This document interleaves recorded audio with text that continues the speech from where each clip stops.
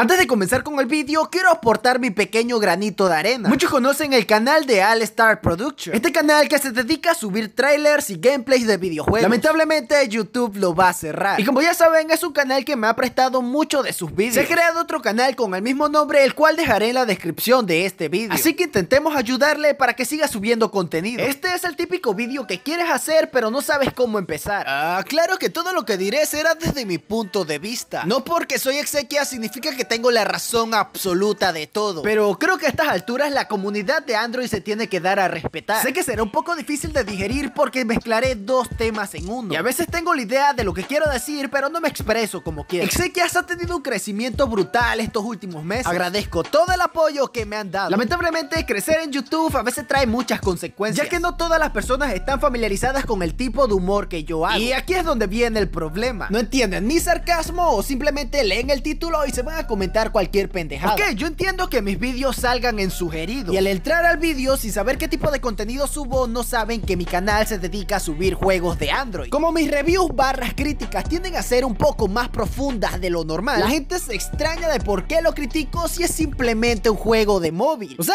es un juego de celular, no lo puedo criticar ni que fuera un juego de consola. Entonces tratan de manera despectiva a los móviles como si solamente pudiésemos jugar Candy Crush. Muchachos.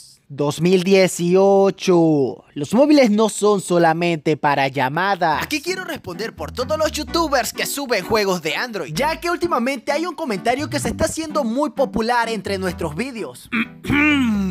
No puedes comparar estos juegos con los de PC o consola. Cómprate una consola de verdad pobre de mierda. Siéndoles sinceros, no sé cómo responderles a esto sin sonar presumido. A ver, por aquí tengo mi Play 4. Para los que dicen que me compro una consola de verdad y que deje de estar jugando en el móvil. Si seguimos por acá, vamos a encontrar mi Nintendo Switch. Ya que como últimamente hateo demasiado a la Switch, he recibido muchos comentarios sobre cómo puedes criticar algo que ni siquiera tiene. Es más, vamos a, traerla por acá para mostrarles un poco mejor. Que sé que se la pasa criticando la Switch y ni siquiera la tiene. Bueno, como podemos ver, estos son algunos de los juegos que tengo. Estaba jugando el Unbox, también me compré el Splatoon, el Zelda, el Mario Kart. Estos son demos, el Morfight, el de Super Mario. Esta es mi preciada case, por cierto. Aquí sí tengo algunos juegos en físico como el Zelda, el Mario Kart, el Just Dance 2017. El Splatoon está dentro de la Switch. Vamos a entrar a mi perfil, el perfil de exequias.